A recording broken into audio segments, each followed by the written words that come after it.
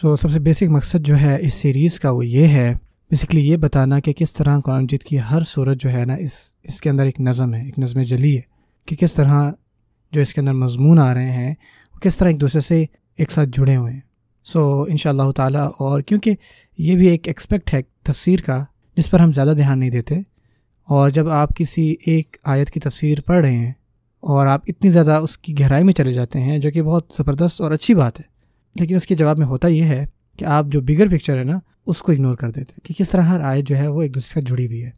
کیونکہ یاد رکھیے کہ یہ آیات جو ہیں، یہ جب تلاوت کی گئی تھی تو ان کی تفسیر نہیں ہوئی۔ یعنی جب اللہ تعالیٰ وسلم پر یہ نازل کرتے تو آپ وسلم جو ہیں، وہ صحابہ کو ان کے سامنے تلاوت فرما دیتے اور خاص کر یہ بات یاد رکھیں، جو مکی قرآن ہے بیسکلی یہ جو نزول ہوتا ہے، یہ اس آڈینس کے لیے ہے جو کفار ہے۔ لیکن یاد رکھیں کہ مومنین کے لیے اس کے بعد جو ہے، ان کو چاہیے کہ وہ ہر آیت پر رکیں اور زیادہ سے زیادہ سیکھیں تفسیر کے بارے میں۔ لیکن یہ بات یاد رکھیں، جو مکی قرآن ہیں جو مکہ میں نازل ہوا، خاص کر جو آخری پارا ہے ہمارا، اس میں بہت ساری مکی صورتیں آتی ہیں۔ تو یہ تمام جو صورتیں ہیں، جو آیات ہیں، یاد رکھیں کہ جو ان کا پہلا سبجیکٹ تھا، پہلی آڈینس تھی، وہ نان مسلم سے۔ سو ہم انشاءاللہ ایک کلیئرٹی آف تھاٹ کے ساتھ جو ہے، اس کو لے کے چلیں گے۔ دو اور چیزیں جو انشاءاللہ ہم ہائی لائٹ کریں گے، جو اکثر جو ہے، جن پر اکثر لوگ دھیان نہیں دیتے، خاص کر انگلش زبان میں جس پر کام نہیں ہوا۔ وہ ہے بیسکلی یہ کہ ایک صورت کا شروع اور اس کے آخر سے کیا تعلق ہے، جو کہ آپ دیکھیں گے کہ ہر صورت کے شروع میں اور اس کے آخر میں ایک تعلق ہوتا ہے کہ ہر صورت جو ہے، اس کا جو شروعات ہے نا، وہ کسی نہ کسی طریقے سے اس کے اختتام سے ملتا ہوتا ہے۔ ان دونوں کے درمیان نا ایک ایک ایک مطابقت ہوتی ہے۔ سو یاد رکھیں، جو مفاتح سور ہیں اور خواتین جو ہیں، ان میں ایک تعلق ہوتا ہے۔ اور اس کے ساتھ ساتھ اس کے اندر بھی مطابقت ہوگی جو آخری چیز آپ پڑھیں گے، کسی بھی صورت، کسی بھی صورت کے آخر میں جو آیات ہوں گی نا، اس سے ملتی جلتی جو اگلی صورت شروع ہو رہی ہے نا، وہاں پہ بھی آیات آپ کو ملے گی۔ یعنی ایک صورت کے اختتام میں اور اگلی صورت کے افتتاح میں ایک لنک ہوگا۔ سو، سورہ نبر جو ہے، وہ بیسکلی اس آیت سے شروع ہوتی ہے جو کہ ہے عام ما یتسالون یہ ایک بہت ہی آپ کہہ لیں گے فیمس فریز ہے، جس کا بہت مفسر نے ترجمہ یہ کیا ہے کہ کون سی چیز ہے جس کے بارے میں یہ لوگ ایک دوسرے سے سوال پوچھ رہے ہیں؟ سو پہلے انشاءاللہ ہم تصاول کی بات کریں گے تاکہ ہم بات سمجھ جائیں زیادہ گہرائی سے۔ اور تصاول سے انشاءاللہ ہمیں پتہ لگ جائے گا جیسے پچھلی صورت ہے صورت المرسلات، اس کے آخر میں اور اس کے شروع میں کیا تعلق ہے۔ سو یہاں پہ انشاءاللہ اللہ تعالیٰ جو اللہ تعالیٰ کی آیات آ رہی ہیں، وہ شروع ہو رہی ہیں بیسکلی ان باتوں پر جو کفار ہیں ان کے درمیان کچھ باتیں چل رہی ہیں۔ سو جو یہاں بات ہو رہی ہے، ایک ڈسکشن چل رہی ہے اس صورت میں، شروع سے ہی آپ دیکھتے ہیں۔ بیسکلی تین مختلف آ رہا ہیں اس لفظ کے اوپر اس لفظ کی تفسیر کے اوپر جو کہ ہے یہ تساءلون اس کا مطلب ہوتا ہے کہ وہ لوگ ایک دوسرے سے پوچھ رہے ہیں۔ ایک رائے یہ کہتی ہے کہ جو مومنین ہیں، ان سے کفار یہ پوچھ رہے ہیں۔ ایک رائے یہ ہے کہ یہ جو سوال جواب ہو رہا ہے، یہ کفار کے درمیان ہو رہا ہے۔ وہ ایک دوسرے سے پوچھ رہے ہیں، کفار۔ اور تیسری رائے یہ ہے کہ دونوں مومنین بھی اور کفار بھی رسول اللہ صلی اللہ علیہ وسلم سے اس بارے میں پوچھ رہے ہیں۔ جو راج قول ہے سب میں جو جس پہ اتفاق ہے، جس پہ علماء نے اتفاق کیا، متفق ہیں اس بات پر کہ یہ جو بات ہو رہی ہے نا، یہ جو ڈسکشن ہو رہی ہے، یہ کفار کے درمیان ہو رہی ہے۔ سو جو بات ہے جو ہمیں سمجھنی چاہیے زبان میں، جب کوئی چیز آپ ڈسکس کر رہے ہوتے ایک دوسرے سے، تو اس کے پیچھے کیا دو وجہ ہوتی ہیں۔ پہلی وجہ یہ ہو سکتی ہے کہ آپ کیوریس تھے، آپ میں تجسس تھا، آپ کو پتہ نہیں تھا اور آپ پوچھنا چاہ رہے ہو۔ کوئی جو ہے وہ کسی اور سے پوچھنا چاہ رہے ہیں سب کہہ رہے ہیں اس میں جو آپ کی نیت ہے وہ تجسس پہ مبنی ہوتی ہے۔ جو دوسری نیت ہے ایک دوسرے سے سوال پوچھنے کے اوپر وہ یہ ہو سکتی ہے کہ آپ کسی کو نیچے دکھانا چاہ رہے ہو یا کسی کا مذاق اڑانا چاہ رہے ہو۔ مثال کے طور پہ ذرا اس چیز کو پکچر کریں سنیریو کو کہ رسول اللہ صلی اللہ علیہ وسلم ان کے سامنے جب یہ سبحان اللہ حق کی باتیں کر رہے ہوتے تھے کہ یہ جو ہے یہ سب قیامت والے دن ہوگا۔ جب قیامت آئے گی تو کس طرح سے سارا منظر ہوگا؟ کیسے پہاڑ پھٹیں گے اور سمندر جو ہیں وہ، سمندر جو ہے وہ ابلیں گے؟ یہ بڑی بڑی چیزیں جو ہوں گی اس دن۔ سو اس کا مذاق اڑانے کے لیے اور یہ دکھانے کے لیے کہ ناؤز باللہ، تم لوگوں کو پتہ ہی کیا ہو رہا ہے ادھر؟ کیا باتیں چل رہی ہیں؟ اور وہی چیزیں ایک دوسرے سے ڈسکس کر رہے ہیں اور ان کا جو، اور ان کی جو نیت ہے نا اس کے پیچھے، وہ یہ ہے کہ انسلٹ کریں۔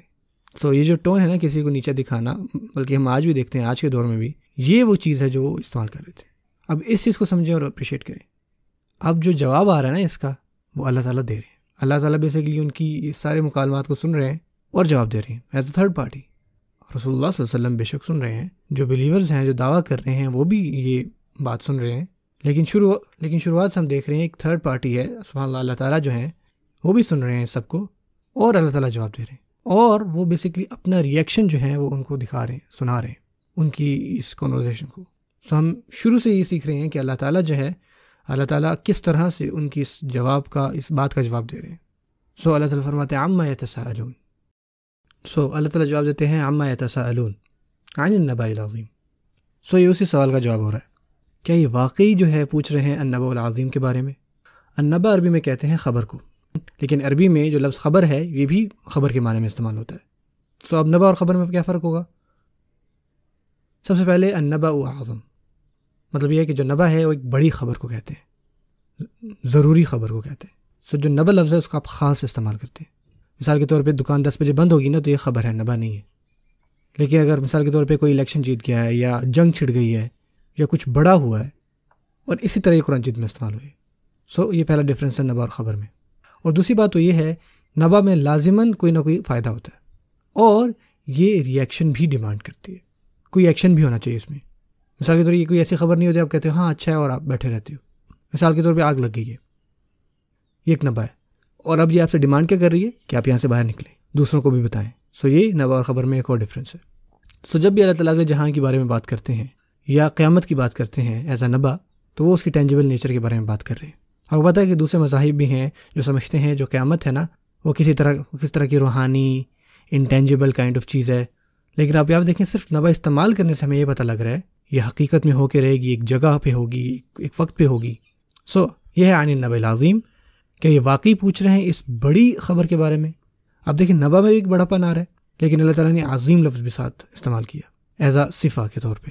یہ اس کی صفت ہے۔ نبا، بڑی عظیم خبر۔ کیا یہ واقعی سچ ہے کہ ایک دوسرے سے پوچھ رہے ہیں اس اتنی بڑی حقیقت کے بارے میں ایک دوسرے سے پوچھ رہے ہیں؟ سو بجائے یہ ہوتا ہے کہ وہ کچھ ایکشن لیتے یہ اوپر سے مذاق اڑا رہے ہیں۔ اور پھر اللہ تعالیٰ ایک اور ریٹوریکل سوال کرتے ہیں۔ اللہ دی ہوں فی ہی مختلف ہوں اللہ دی جو ہے اس کو آپ عربی میں کہتے ہیں اس میں موصول، ٹھیک ہے؟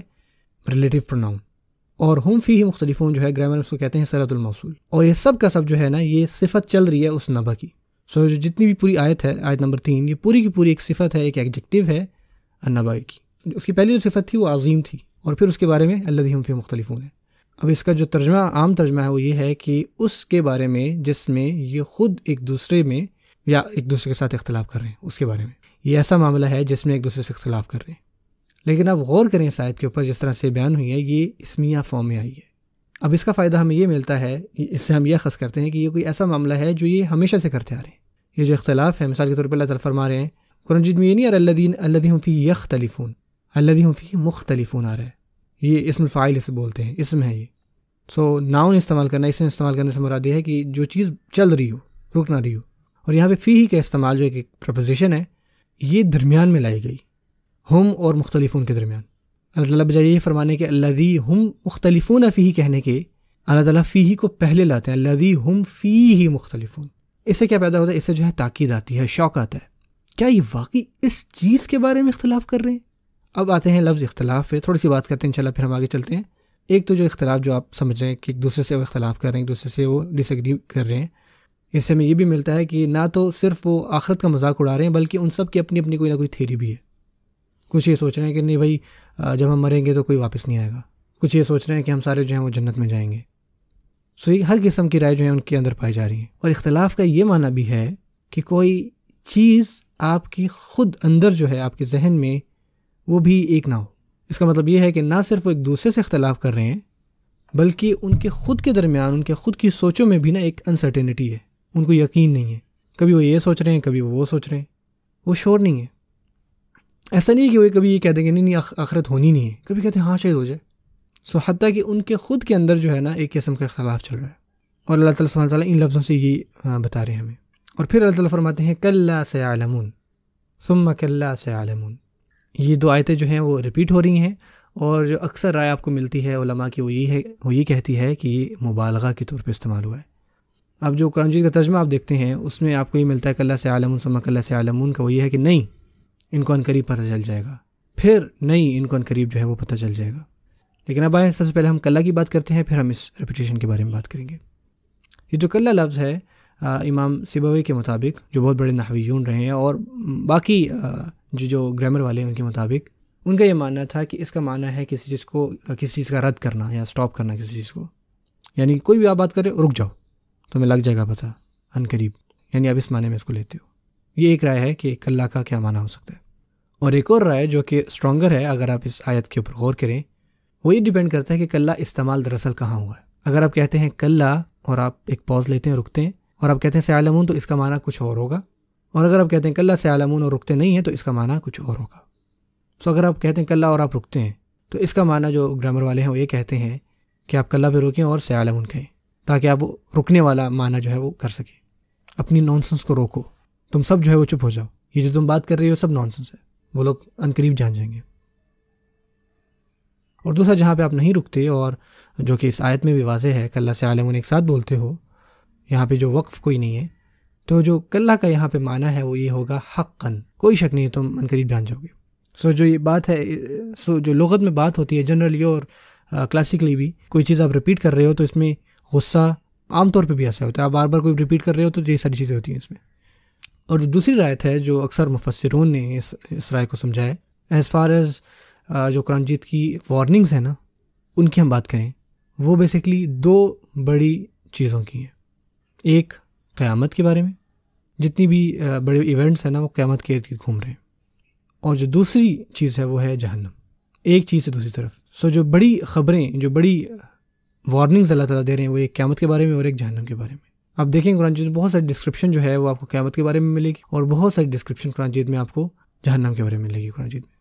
سو یہ مفسرون کے درمیان مانا جاتا ہے کہ جو پہلی آیت ہے نا کلّہ سے عالمون تم لوگ جان جاؤ گے جب قیامت ہوگی۔ اور جو دوسری ہے سما کلّہ سے عالمون اور جب قیامت ہو جائے گی تو تم لوگ جان جاؤ گے کہ جہنم کیا ہے۔ سب سے پہلے جب تمہیں احساس ہوگا نا اس چیز کا، وہ تب ہوگا جب تم قیامت کو اپنی آنکھوں سے دیکھو گے۔ اور دوسری دفعہ جب تم جہنم دیکھو گے۔ یہ وہ جو جگہ ہیں جب تمہیں واقعی پتہ لگے گا۔ سو اگین یہ تفسیر ہے بیسکلی کہ یہ ان دو آیتوں کی یہاں پہ ریپیٹیشن بار بار دو آیتیں کیوں آئی ہیں؟ جو آخری بات میں کروں گا اس کلّہ سے عالمون اور پھر سما کلّہ سے عالمون پر، وہ یہ ہے کہ ایک کہاوت ہے بڑی مشہور، من ماتا فقط قامت قیامت ہو جو بھی مر گیا تو اس کی قیامت سمجھو شروع ہو گئی۔ اس کے لیے ایسا نہیں ہے کہ اب اس کو انتظار کرنا ہوگا کہ قیامت کی بڑی نشانیاں، چھوٹی نشانیاں کب آئیں گی۔ ایسا نہیں ہے۔ کتنی نسلیں گزر چکی ہیں، سورج جو ہے وہ مغرب سے طلوع ہو رہا ہے، یہ ساری نشانیاں اس کے لیے اب نہیں ہیں۔ اس نے دیکھ لیا جو ہونے والا اب۔ جیسے کہ حضرت علی رضی اللہ تعالیٰ عنہ فرمایا کرتے تھے اناس و نیام، کہ لوگ جو ہے وہ سو رہے ہیں۔ اور جب یہ لوگ مریں گے نا، تو اس دن یہ جاگیں گے۔ تو جیسے بھی کوئی انسان مرتا ہے نا، تو اس کو پتہ لگ جاتا ہے، وہ جان جاتا ہے۔ جو بھی اس نے چیزیں کی ہیں، اب اس کے نتائج وہ دیکھتا ہے آگے جا کے۔ اب دیکھا جائے تو یہ جو ہے وہ پہلا پیسج تھا اس صورت کا۔ عما يتساءلون عن النبأ العظيم الذي هم فيه مختلفون كلا سيعلمون ثم كلا سيعلمون. اچھا آگے جانے سے پہلے میں چاہتا ہوں کہ ایک چیز ہم سمجھیں جو کہ قرآن جیت کی ایک ردم ہے نا اس کو ہمارے لیے سمجھنا بڑا ضروری ہے۔ دیکھیں ہم یتسا عن النبأ العظیم یہاں پہ ہلکا سا جو ہے وہ تبدیل ہے۔ آگے دیکھیں اللہ ہم فی مختلفون کلّہ سے ثم کلّہ سے یعنی تمام آئیں تو دیکھیں تو ان کے اینڈ میں نا ایک ہی جیسا آواز آ رہی ہے، سوائے عن النبیل عظیم کی۔ لیکن اگر آپ کو اس آیت کی گرامر کا پتہ ہونا، تو آپ کو یہ پتہ چلے گا کہ یہ جو آیت ہے نا، اس کا تعلق اگلی آیت سے ہے۔ یہ پورا ایک جملہ بنتا ہے۔ یعنی یہ پورا جملہ ہے، عن النب العظیم الذی ہم فیہ مختلفون۔ یہ پورا ایک جملہ بنتا ہے۔ اور اب یہاں پہ جی کی بہت حیران کر دینے والی جو باتیں ہیں نا، وہ یہ ہے کہ اکثر اوقات ایسا ہوتا ہے کہ جہاں پہ اگر کوئی طرز بدل رہی ہے نا، تو اس سے پتہ لگتا ہے کہ یہاں پہ ٹاپک بھی بدل رہا ہے۔ دیکھیں عما يتساءلون عن النبأ العظيم الذي هم فيه مختلفون. کلّہ سے عالمون ثم کلّہ سے عالمون اب اگلی کچھ آیتوں کو دیکھیں. الم نجعل الارض مهادا والجبال اوتادا وخلقناكم ازواجا وجعلنا نومكم سباتا. اب ایک نئی قسم کی کرائم آپ دیکھ رہے ہیں. دیکھ رہے ہیں نا؟ اور جیسے آپ دیکھیں گے ہم جب انشاءاللہ آگے پڑھیں گے نا تو آپ کو پتہ لگے گا یہ کسی مختلف چیز کی بات ہو رہی ہے یہاں پہ، جو اس سے کنیکٹڈ ہوگا. اگین جیسے کہ ہم انشاءاللہ پڑھنا چاہ رہے ہیں صورت کو، اس کے معنوں کو، اس کی تفسیر کو اور کس طرح سے ہر آیت ایک دوسرے سے متصل ہے، تعلق ہے اس کا۔ ہمیں سب سے پہلے اس التفاط کو سمجھنا ضروری ہے۔ پہلی دفعہ دیکھیں تو آپ کو لگتا ہے کہ اس کا کوئی ریلیشن نہیں ہے۔ مثال کے طور پہ اللہ تعالیٰ فرماتے ہیں، علم نجعل الارض ہادہ کیا ہم نے اس زمین کو ایک چٹیل میدان نہیں بنا دیا؟ مہاد یعنی بالکل چٹیل۔ اب تو جو لفظ مہاد ہے، ایک اور لفظ جو اس سے ملتا جلتا ہے وہ ہے مہد اور مہد بیسکلی کہتے ہیں پالنے کو، حتیٰ کہ ماں کی جو کوک ہے نا، اس کو بھی مہد کہتے ہیں، جہاں پہ بچہ کمفرٹیبل ہوتا ہے۔ اللہ تعالیٰ فرماتے ہیں، کیا ہم نے اس زمین کو ایسا نہیں بنایا کہ تم یہاں پہ کمفرٹ محسوس کرتے ہو؟ اور اس طرح جو لفظ مہاد ہے نا، پرانی عربی میں بستر کے لیے بھی استعمال ہوتا تھا۔ یعنی وہ جگہ جہاں پہ آپ آرام کرتے ہیں، یہ وہ جگہ ہے جہاں پہ آپ اطمینان، آپ سکون لیتے ہیں۔ اب اللہ تعالیٰ جو ہے اپنے انعامات کی بات کر رہے ہیں یہاں پہ۔ جیسے جیسے آپ پڑھیں گے نا، آپ کو اللہ تعالیٰ کے انعامات کا پتہ چلتا جائے گا آگے۔ اللہ تعالیٰ کی تخلیقات کا۔ اب دیکھا جائے، اس کا کیا تعلق ہے قیامت کے ذکر سے جو ہم نے پہلے پڑھا؟ اب دیکھا جائے جو ان کا اختلاف تھا، کفار کا وہ یہ تھا کہ جو آپ باتوں، جن باتوں کی آپ بات کر رہے ہیں نا، وہ بہت بڑی ہیں۔ یعنی کہ سورج اور چاند ایک ساتھ ٹکرا رہے ہیں۔ زمین جو ہے وہ ریزہ ریزہ ہو رہی ہے۔ اور وہ اخراجت الردسخالہ اور زمین کے اندر جو بھی جو بھی چیزیں وہ باہر آ رہی ہیں، یہ ساری بہت بڑی چیزیں ہیں۔ ہمیں سے کسی نے بھی اس طرح کی کوئی چیز نہیں دیکھی۔ اچھا جو انسان ہے نا، وہ ان چیزوں کو جانتے ہیں جو وہ خود کر لیتے ہیں آرام سے۔ مثال کے طور پہ، ہم اپنے خود بستر بنا لیتے ہیں۔ ہم اپنے گھر خود بنا لیتے ہیں۔ اس طرح کی چیزیں جو انسان خود استطاعت رکھتا ہے کرنے کی۔ اور اب یہاں اللہ تعالیٰ بتائیں گے کہ جو ہم نے بنائی ہیں چیزیں تمہارے لیے اور تم جو بناتے ہو اپنے لیے، ان میں کیا موازنہ ہے؟ اب اللہ تعالیٰ وہ بات ملا رہے ہیں یہاں پہ۔ تو یہاں پہ اب موازنہ ہوگا کسی انسان کا کچھ کوئی چیز بنائے جانے کا۔ اور جو اللہ تعالیٰ نے چیزیں انسان کے لیے بنائی ہیں نا، ان کا اللہ تعالیٰ موازنہ کریں گے۔ علم نجا علی لرزہ مہادہ اور پھر جو ہے ہم بلڈنگیں بناتے ہیں یا عمارتیں بناتے ہیں یا ہم خیمے لگاتے ہیں۔ مثال کے طور پہ پرانے وقتوں میں لوگ کیا کرتے تھے؟ جب گھر بناتے تھے تو خیمے لگاتے تھے۔ اور یہاں اللہ تعالیٰ کہتے ہیں ولجبال اوتادا اللہ تعالیٰ فرماتے ہیں، کیا ہم نے پہاڑوں کو نہیں بنایا؟ میخوں کی طرح۔ اور جو لفظ اوتاد ہے نا، وہ پہلے بھی استعمال ہوا ہے، جیسے آپ پڑھیں گے وہ فرعون عدل اوتاد یعنی وہ فرعون جو اپنے اوتاد کی وجہ سے جانا جاتا تھا۔ اب اوتاد کیا ہے میخیں۔ یعنی کہ اس کے ہزاروں کتنی ہی آرمی ہوتی تھی اور وہ جاتی تھی جنگ لڑنے یا جو بھی۔ وہاں رکتی تھی، وہاں پہ وہ میخیں لگاتی تھی۔ اور اب دیکھا جائے کہ کسی بھی خیمے کا جو سب سے امپورٹنٹ حصہ ہے نا، وہ کیا ہوتا ہے؟ وہ میخ ہوتی ہے جس کے، جس کو ہم ٹھوک کے اس کے ساتھ خیمہ کھڑا کرتے ہیں۔ یہ عربی کی خوبصورتی کہ آپ کسی چیز کا لنک کرتے ہیں اس کی سب سے ضروری چیز کے ساتھ۔ مثال کے طور پہ آپ ایک فوجی کو کہہ سکتے ہیں کہ یہ تلوار ہے، کیونکہ اس فوجی کی سب سے اہم چیز تلوار یا گن ہے آج کے دور میں۔ تو اللہ تعالیٰ کہتے ہیں کہ تم یہ اپنے گھر بناتے ہو، اپنے خیمے کھڑے کرتے ہو اور اللہ کہتے ہیں دیکھو، میں تمہیں دکھاتا ہوں کہ میں نے کیسے خیمے کھڑے کیے۔ اور کون سے خیمے اللہ تعالیٰ نے کھڑے کیے؟ ولجبال اوتادا۔ اللہ تعالیٰ نے جو ہیں، پہاڑ، ان کو میخے بنایا ہوا ہے۔ اللہ اکبر۔ اب خود کا کمپیریزن کرو اور اللہ تعالیٰ کی تخلیق دیکھو۔ اور پھر اللہ تعالیٰ بات کرتے ہیں۔ دیکھا جائے تو یہ بڑی چیزیں تھیں۔ اب ہم بات کرتے ہیں کہ انسانوں کے اندر کیا کیا چیزیں اللہ تعالیٰ نے بنائی ہیں۔ اللہ تعالیٰ فرماتے ہیں وہ خلق نا کم ازواجا اور ہم نے تمہیں پیدا کیا، تم سب کو یہاں پہ مفعول بھی آ رہا ہے جو کم ہے نا یعنی تم سب۔ ازواجن یہ اس کا حال ہے۔ اس طرح پیدا ہوا ہے کہ تمہارے جوڑے ہیں۔ تم لوگوں نے خود اپنے جوڑے نہیں بنائے۔ اللہ تعالیٰ نے ہمیں بنایا جوڑے کی شکل میں۔ یعنی ہماری خود کا کوئی مینوفیکچرنگ ہے۔ یہ اللہ تعالیٰ کی طرف سے دیا گیا ہے۔ اللہ تعالیٰ فرما رہے ہیں کہ جو چیزیں تم بھی ہلکی پھلکی بناتے ہو نا، تمہارا اس پہ بھی کوئی اختیار نہیں۔ اپنے خود کے جنس پر تمہارا کوئی اختیار نہیں۔ تمہارے خود کے ازواج پر تمہارا کوئی اختیار نہیں۔ سو اللہ تعالیٰ فرماتے ہیں کہ ہم نے تمہیں جوڑے کی شکل میں بنایا۔ اور یہ اگین اللہ تعالیٰ کی کریٹو پاور ہے، جو کہ ایک باغی ہے نا، اس کے اوپر بھی اپلائی ہوتی ہے۔ اس کو بھی یہ بات پتا ہے کہ مجھے بھی اللہ تعالیٰ نے نا پیئرز میں بنایا ہے اور میں بھی خود پہ بھی انچارج نہیں ہوں۔ اور پھر اللہ تعالیٰ آگے مزید چلتے ہیں اور انسان سے ون ٹو ون بات کرتے ہیں اور وہ فرماتے ہیں وہ جاللہ نوم کم صبح تھا اور ہم نے بنائی تمہاری نیند، نوم۔ اور نوم جو ہے وہ ڈیپ سلیپ کو کہتے ہیں۔ آپ نے عادل الکرسی میں سنا ہوگا لاتا خود سینا توں والا نوم۔ سینا جو ہے نا وہ، آپ کہہ لیں ایک نیند کا جھونکا ہے، ایک غنودگی ہے۔ سو اللہ فرماتے ہیں کہ ہم نے تمہاری یہ جو نیند ہے نا، اس کو صباتا بنایا ہے۔ اب سب تشعرا اس کا مطلب ہوتا ہے یعنی کہ انسان نے اپنے بالوں کو کاٹا سباتا یعنی کاٹنا۔ یا آپ کہیں نا سبات سیرا یعنی جب آپ کوئی رسی کاٹتے ہیں۔ جو اس کا لغوی معنی ہے نا، وہ یہ ہے کہ جو صبات ہوتی ہے، وہ آپ کو کسی چیز سے کاٹ دیتی ہے، کٹ آف کرتی ہے۔ سو اللہ تعالیٰ نیند کی بات کرتے ہیں اور اس چیز کی جو آپ کو منقطع کر دے۔ سب سے پہلے یہ آپ کے جسم کو منقطع کرتی ہے کس سے؟ آپ کی روح سے۔ آپ کی روح آپ کی جسم سے نکل جاتی ہے، کٹ آف۔ آپ اس کے انچارج نہیں ہیں۔ اور پھر یہ نیند آپ کو کٹ آف کرتی ہے آپ کے تمام کاموں سے۔ آپ کے بزنس سے، آپ کے تمام کنسرن سے، جو بھی چیزیں آپ کرنا چاہ رہے ہوتے ہیں نا، آپ اس سب سے کٹ آف ہوتے ہو۔ حتیٰ کہ آپ اپنی فیملی سے بھی کٹ آف ہوتے ہو۔ یعنی آپ دنیا کے لیے آپ مردہ ہیں قسم کے۔ ان کچھ گھنٹوں کے لیے آپ نہیں ہوتے۔ آپ اس وقت جو بھی کریں وہ میٹر نہیں کرتی آپ۔ کیونکہ آپ دنیا کے لیے آپ ریلیونٹ نہیں ہوتے جب آپ نیند میں ہوتے ہیں، گہری نیند میں۔ اور یہ بیسکلی اس طرف اشارہ کرتی ہے جس کے بارے میں انشاءاللہ اللہ تعالیٰ مزید وضاحت سے آگے بتائیں گے کچھ آئے تو بعد انشاءاللہ، جو کہ اصل میں ہے قیامت کے دن کے بارے میں۔ اور البتہ قیامت کے دن کی جو ایک اہم چیز ہے نا، وہ یہ ہے کہ تمام انسان جو ہے نا، وہ منقطع ہوں گے۔ ایک دوسرے سے دور ہوں گے، ایک دوسرے سے کٹ آف ہوں گے۔ یہ چیز البقرہ میں بھی آئی۔ وہ تقطعات بھی الاسباب ان کی جو جتنے بھی تعلقات ہیں نا، وہ سب کے سب ختم ہو جائیں گے اس دن۔ انشاءاللہ آپ نے پچھلی صورتوں میں پڑھا ہوگا، جہاں پر اللہ تعالیٰ فرماتے ہیں یوم یفر المر امن عقی و امی ہی و ابی انسان جو ہے، وہ بھاگے گا اپنی ماں سے، اپنے باپ سے و صاحبتی و بنی، اپنی بیوی سے، اپنے بچوں سے۔ یہ چیز صورت المعارج میں بھی ہم نے پڑھی تھی، پیچھے، آگے بھی ہے، صورت آبس میں بھی۔ سو یہ ایک قسم کا انقطاع ہونا ہے جو کہ مستقل ہوگا، جو کہ آگے انشاءاللہ ہم پڑھیں گے۔ اس انقطاع کا آپ کچھ حصہ روزانہ کے طور پہ ایکسپیرینس کرتے ہیں اپنی زندگی میں۔ آپ جتنا مرضی نیند سے اپنا چھٹکارا پائیں، لیکن آخر کار آپ نیند کے آغوش میں ہوں گے۔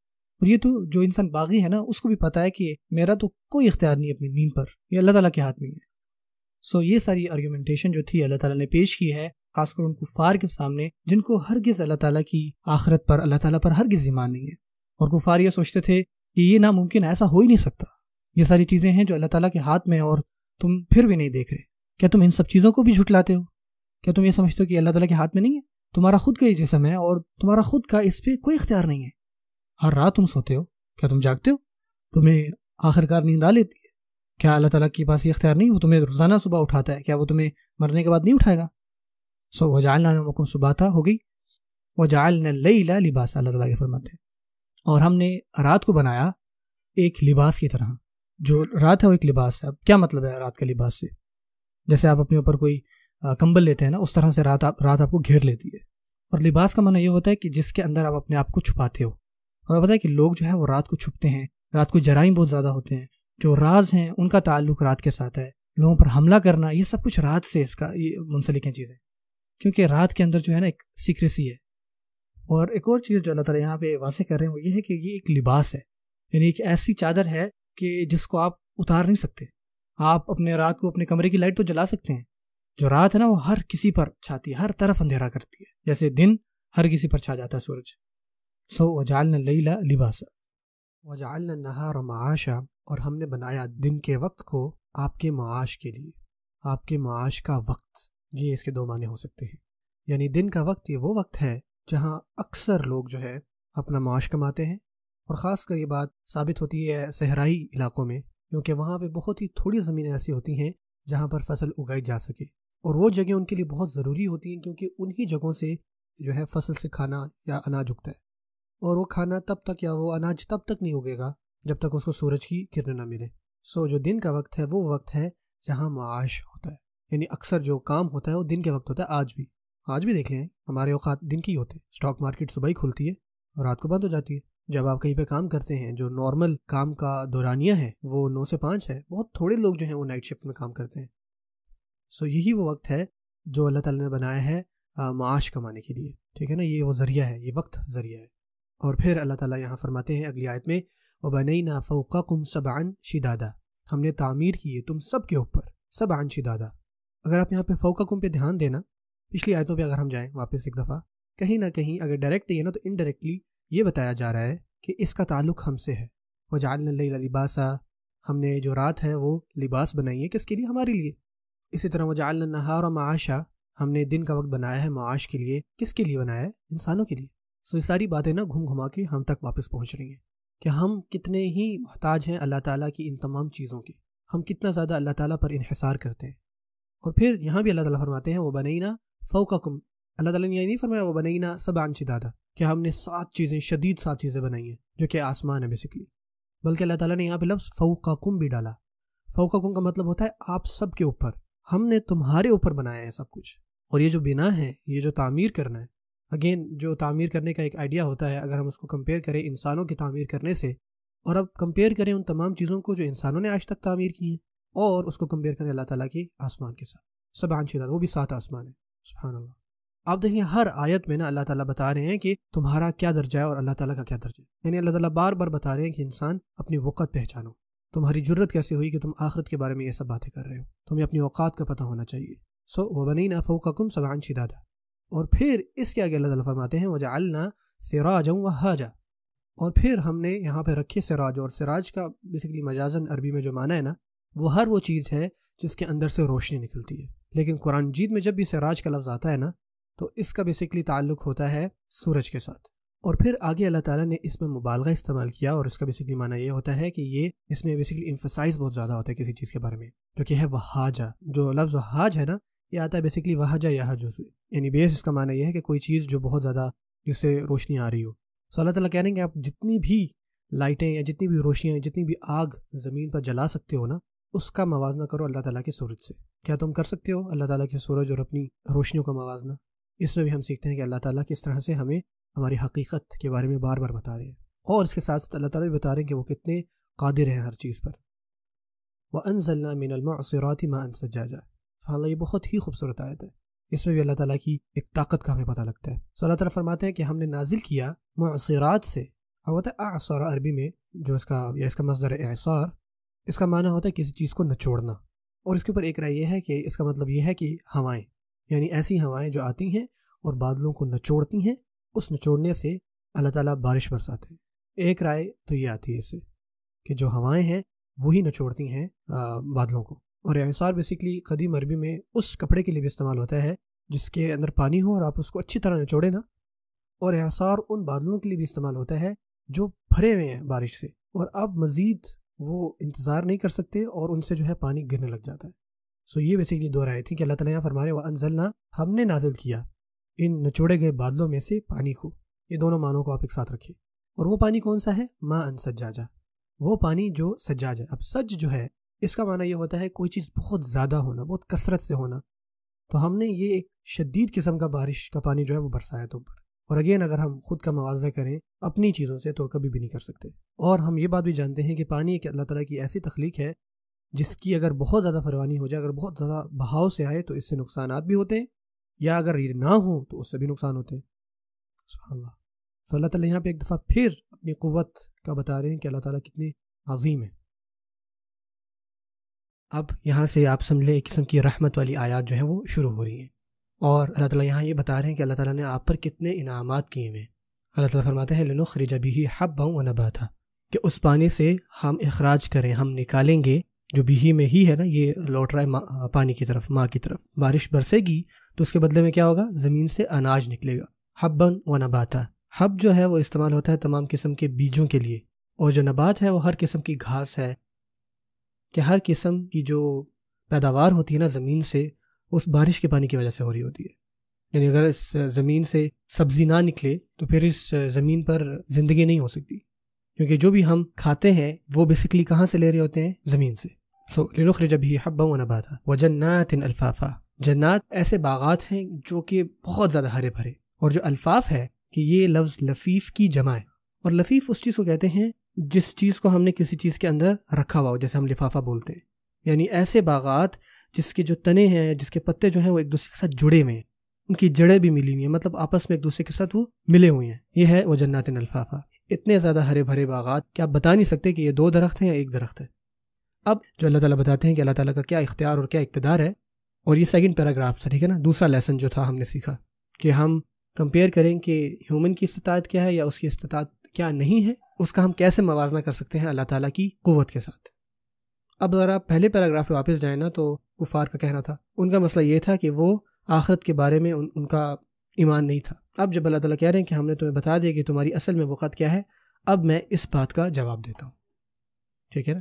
جو کہ انشاءاللہ ہم آنے والی ویڈیو میں پڑھیں گے۔ اللہ تعالیٰ فرماتے ہیں، ان یوم الفصلی کیا نامی قاتہ کہ کوئی شک نہیں کہ جو فصل کا دن ہے، اور جو لفظ فصل ہے نا، اس کا عربی میں جو لغوی معنی ہے وہ یہ ہے کہ آپ کوئی دو چیزیں لیں جو کہ ایک ساتھ جڑی ہوئی ہوں، اور آپ ان کو اتنا جدا کر دیں کہ آپ کو نظر آ جائے کہ اب یہ دونوں چیزیں جدا جدا ہیں۔ اور یہ بھی قیامت کے ناموں میں سے ایک نام ہے۔ اور مفسرون اس میں یہ کہتے ہیں کہ قیامت کو یوم الفصل اس وجہ سے کہا گیا ہے، جس دن الگ ہو جائیں گی چیزیں، جس دن فیصلہ ہو جائے گا۔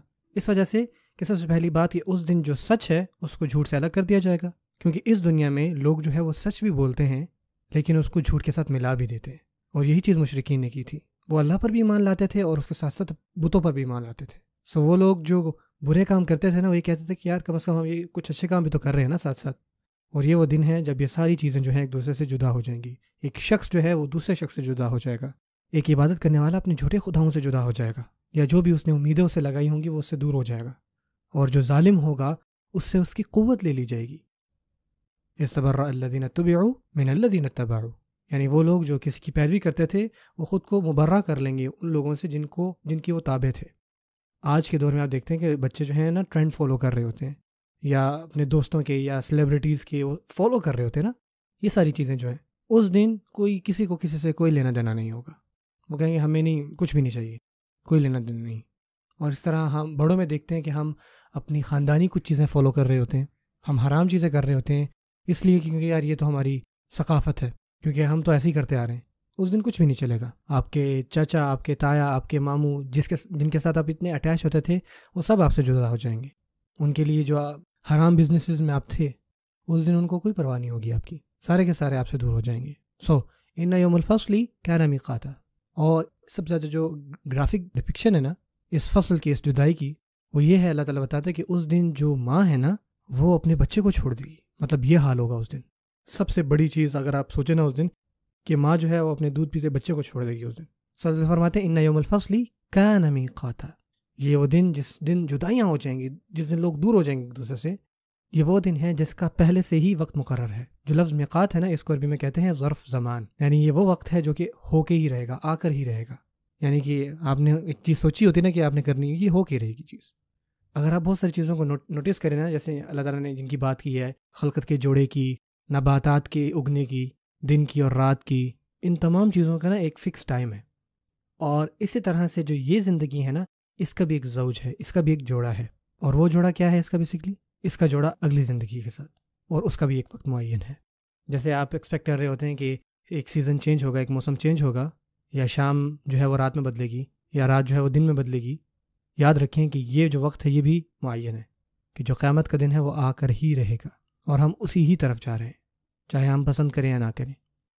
اور یہی چیز آگے بھی ہے کہیں جو کہ ان ہم آگے دیکھیں گے، بلکہ الشقاق میں فرماتے ہیں، یا انسان کا کیا دہن الاربی کا کدھن ملاقی کہ اے انسانوں تم یہ بات جان لو کہ تم سب جو ہے وہ اللہ تعالیٰ ہی کی طرف جا رہے ہو، ہر منٹ، ہر سیکنڈ جو۔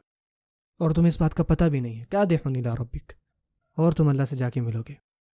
بلکہ آپ دیکھتے نا، ایئرپورٹ پہ ایک جگہ ہوتی ہے جہاں پہ آپ کھڑے ہوتے ہیں تو آپ کو آگے لے جاتی ہے۔ آپ اس پہ کھڑے ہو جائیں تو آپ ریئلائز کریں یا نہ کریں، آپ کو جلدی سے آگے لے جاتی ہے۔ اللہ تعالیٰ جو ہے ہمیں اس دن کی رسوائیوں سے بچائے۔ آمین۔ صلی اللہ تعالیٰ فرماتے ہیں، یوم فخوف سوری فتح افواجہ اب جبکہ اس دن کے بارے میں شروعاتی باتیں ہو چکی ہیں اور اب جو باقی آیات آئیں گی نا، وہ اسی دن کی ہولناکی اور اس دن کے بارے میں بتائیں گی۔ سو اللہ تعالیٰ شروع کرتے ہیں، یہ کہنے سے، یوم فاخو فصور یعنی یہ وہ دن ہے جس دن پھونکا جائے گا یعنی نف خن یون فاخو نف خن فصور یعنی جو پھونک ہے وہ ماری جائے گی کس کے اندر؟ سور کے اندر۔ اب جو سور ہے وہ بیسکلی کہتے ہیں سینگ کو، جس کے اندر آپ منہ ڈال کے نا پھونک مارتے تو اس کے اندر سے آواز آتی ہے۔ وہ کسی جانور کے بھی ہو سکتا ہے اور بنایا بھی جا سکتا ہے۔ اور فتح تون افواجا اور یہاں پہ جو لفظ تعتون ہے نا، یہ حاضر کے سکے میں آیا ہوا ہے، جو کہ بیسکلی سیکنڈ پرسن کے لیے ہم استعمال کرتے ہیں۔ یعنی کہ آپ سب جو ہے نا، وہ سارے کے سارے آؤ گے۔ افواج کی صورت میں۔ سو یہاں پہ اللہ تعالیٰ جو ہے وہ کفار کی طرف آ رہے ہیں اور اب ان سے بات کر رہے ہیں۔ نہ کہ ان کی بات کر رہے ہیں بلکہ ان سے بات کر رہے ہیں۔ جو صورت شروع ہوئی تھی نا وہ شروع ہوئی تھی عامہ یا تسا علون تسا علون نہیں، بلکہ یہ تسا سے کہ وہ پوچھ رہے ہیں۔ وہ جو ہے یہ غائب کا سگا ہوتا ہے تھرڈ پرسن کا۔ اب اللہ تعالیٰ ان سے بات کر رہے ہیں ڈائریکٹلی یعنی دوسرے لفظوں میں جب شروع ہوتی ہے صورت اللہ تعالیٰ ان سے اتنی دوری کر رہے ہیں کہ اللہ تعالیٰ ان سے بات ہی نہیں کر رہا ڈائریکٹلی اور پھر عربی میں ایک چیز آتی ہے جس سے آپ اپنا جو غصہ ہے وہ دکھا سکتے ہیں، وہ یہ ہے کہ پہلے آپ ان سے بات نہیں کرتے اور پھر ایونچولی آپ ان سے ڈائریکٹلی بات کرتے ہو۔ اور یہی چیز آپ دیکھتے ہیں کلاس روم میں بھی ہوتی ہے آج بھی۔ مثال کے طور پہ ایک ٹیچر جو ہے وہ پڑھا رہا ہے کسی کلاس میں اور ان میں سے کوئی ایک بچہ جو ہے وہ فیل ہو گیا یا ٹیسٹ فیل ہو گیا۔ اور استاد آئے کہتے ہیں کہ کچھ بچے ایسے ہیں جن کا ٹیسٹ اچھا نہیں ہوا۔ اور پھر جب استاد جو ہے وہ سب کو بتا رہا ہوتا ہے، غصہ کر رہا ہوتا تو ایک دم کہتا ہے کہ عبداللہ تم اور پھر عبداللہ کے بارے میں، ایک دم سے عبداللہ کی طرف دھیان آ جاتا ہے۔ اور یہ چیز اللہ تعالیٰ نے قرآن جیت میں بہت دفعہ استعمال کی ہے۔ مثال کے طور پہ اللہ تعالیٰ کہتے ہیں وقالو وقال اتخذ اللہ ولدن کہ یہ لوگ کہتے ہیں کہ اللہ تعالیٰ نے ناؤز باللہ بیٹا بنایا۔ یا اتخذ الرحمن والدہ اور پھر فوراً سے اللہ تعالیٰ کہتے ہیں لقت جی تم شعی ان ادا تم لوگ جو ہو نا، تم نے اتنی بڑی بات کی ہے۔ انہوں نے نہیں، تم نے۔ ایک دم وہ سے تم پہ بات آ جاتی ہے۔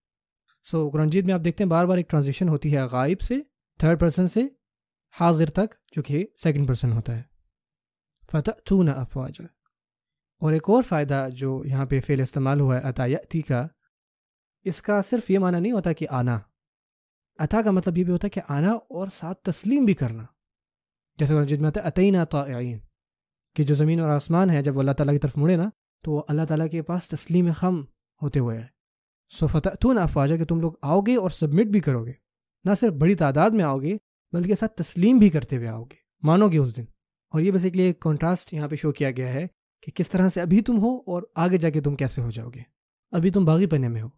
اور پھر اگلی آیت میں اللہ فرماتے ہیں وہ فتح سما او فقہ تبوابا اور آپ نے یہ بات نوٹس کی اسی صورت میں پہلے جب اللہ تعالیٰ اپنی قوت بیان فرما رہے تھے، وہاں اللہ تعالیٰ فرما رہے تھے وہ بنئی نہ فوقہ کم سبان شدادا۔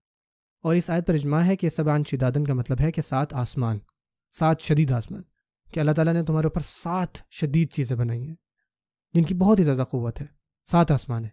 اب انہی سات آسمانوں کے اوپر اللہ تعالیٰ کی قوت ہے کہ ان کو اللہ تعالیٰ تباہ و برباد کر دیں۔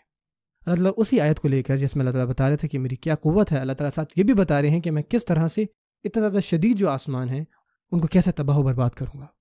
اور وہ فتحت سما فقان طبابہ یہ اللہ تعالیٰ فرما رہے ہیں۔ کہ جو آسمان ہے اس دن ایسے کھل جائے گا کہ فقان طبابہ ایسے جیسے کہ اس کے اندر دروازے ہوں۔ اور یہ قرآن کی بلاغا سے ہے۔ اب اس کا کیا مطلب ہوا کہ آسمان کے اندر دروازے ہوں گے؟ اب اس کو ہم یہاں سے سمجھیں گے جو فعل استعمال ہوا ہے سما کے ساتھ، جو کہ پہلے بھی ہوا تھا، جو کہ تھا بنینا۔ دیکھیں جو البنا ہے نا، اس کا مطلب ہوتا ہے کوئی چیز تعمیر کرنا۔ اور کسی تعمیر میں، کسی گھر میں سب سے زیادہ کمزور حصہ کون سا ہوتا ہے؟ دروازے والا۔ یعنی دروازہ ایسی جگہ ہوتی ہے جو بار بار کھل رہا ہوتا ہے، بار بار بند ہو رہا ہوتا ہے۔ یعنی جو سب سے پہلی چیز اگر آپ توڑیں گے کہیں گھسنے کے لیے، تو آپ دروازہ توڑتے ہیں۔ سو اللہ تعالیٰ بات کریں اس اس آسمان کی جو کہ بہت ہی زبردست ہے۔ لیکن اس دن ایسا ہو جائے گا کہ جیسے یہ سارا کا سارا ہی دروازہ ہے۔ فقہ تب بابا ایسے ہو جائے گا جیسے کوئی دروازہ ہے۔ اور جو ابھی سچویشن ہے، آسمان کی، اللہ تعالیٰ اسی میں فرماتے ہیں حل تراون فطور سو مرج البصرا کر رہا تھیں یعنی قلی بلیک البصر خاص وہ حصیر کہ تم اپنی آنکھیں دوڑا دوڑا کے تھک جاؤ گے، لیکن اللہ تعالیٰ کے آسمان میں تمہیں کوئی کریک نظر نہیں آئے گا۔ اور قیامت کے دن اس کی اس کا بالکل اپوزٹ ہو جائے گا۔ اللہ تعالیٰ خود فرمائیں گے وہ فتح السماء فقانت بابا